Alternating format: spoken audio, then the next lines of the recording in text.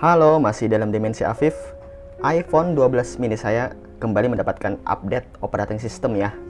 Kali ini iOS 16.3.1 ya. Bisa kita lihat sama-sama di general software update. Nah, ini dia. Besaran update-nya adalah 247,1 MB ya. This update provides important bug fix and security update for your iPhone. Tidak ada keterangan bug apa yang diperbaiki, tapi langsung saja kita cek terlebih dahulu uh, storage-nya seperti biasa. Sebelum update ini 113,2 GB ya. Saya capture dulu. Kemudian iOS-nya 9,05 GB dengan Geekbench sebelumnya di 1555 untuk single core dan 3809 untuk multi core baik langsung saja kita update. Karena ini tergolong kecil ya ukuran update nya jadi e, sepertinya ini akan cepat saja. Saya download dulu. Dan kita gunakan. Oke sambil menunggu saya matikan dulu uh, rekaman videonya. Baik update-nya sudah selesai ya. Ada notifikasi seperti ini software update. Your iPhone has been updated to iOS 16.3.1 baik untuk pertama kalinya saya buka dulu. Harus pakai kunci kita cek sama-sama.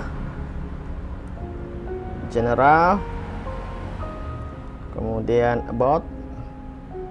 Kemudian ini kodenya ya. iOS 16.3.1 dengan pastikan kodenya seperti ini ya 20D67 dan di sini ada keterangan ternyata apa saja yang di uh, fix untuk bugnya ada iCloud setting may be unresponsive or incorrectly display if apps are using iCloud. Siri request for find my my not work. Kemudian crash detection optimization on iPhone 14 and iPhone 14 Pro models. Oke. Okay? Ternyata ada tiga poin yang diperbaiki bugnya ya. Lanjut kita cek sama-sama iPhone store iPhone storage-nya. 113 GB sebelumnya itu di 113,2 jadi turun sebesar 0,2 GB bagus sekali ya. Kemudian untuk iOS nya sendiri itu di 9,04 yang tadi itu sebelumnya 9,05 turun juga baik langsung saja kita jalankan Geekbench nya oh oh ya kita cek ini dulu ya.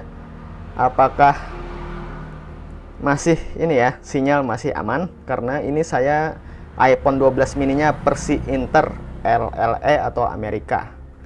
Jadi aman Alhamdulillah tidak ada masalah untuk uh, sinyal. Langsung saja kita jalankan Geekbench 5 nya biasanya memakan waktu 2 menit baik kita matikan kembali kamera saya sambil menunggu. Baik, sudah selesai uh, Geekbench 5-nya. Skor di 1555 ya. Sama seperti seperti tadi. Kemudian untuk multicore di 3732. Kita cek saja historinya. Sebelumnya Oh, untuk multicore ada penurunan sedikit. Ini tidak masalah ya. Bisa kalian cek. Sebelumnya di 3809 sekarang menjadi 3732 tidak masalah karena ini masih uh, uh, berdasarkan histori masih seperti uh, masih sama ya. Ada kadang-kadang ada yang 3500 juga jadi ini tidak masalah. Oke baik. Bagaimana dengan aplikasi-aplikasinya kameranya oke tidak ada masalah. Kecepatannya oke. Pindah-pindah menu oke tidak masalah oke. Tidak ada masalah ya. Tadi sinyal juga oke. Semuanya aman. Semuanya aman ya tidak ada masalah. Baik. Baik tidak ada masalah. Oke demikian saja updatean kali ini. Jangan lupa subscribe bagi yang belum like kalau suka komen di kolom komentar. Thank you